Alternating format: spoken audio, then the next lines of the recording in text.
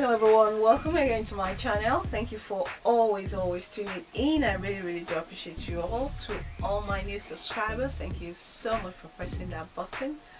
And to my old subscribers you all know how i feel about you.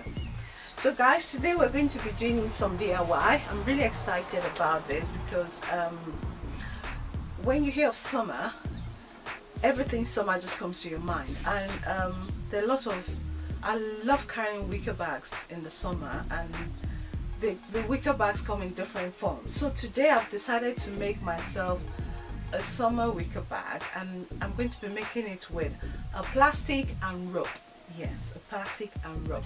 So come along with me on this video guys and see I'm going to make a, a wicker bag for this summer because I'm really going to rock this bag I'm making because it's different, it's unique and it's beautiful and it's so me and it's boho chic as well. So I'm going to use like I said before plastic and rope.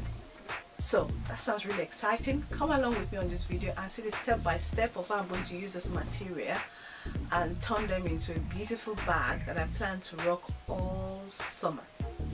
So before I go don't forget make sure you share my videos with your family and friends and encourage them to subscribe.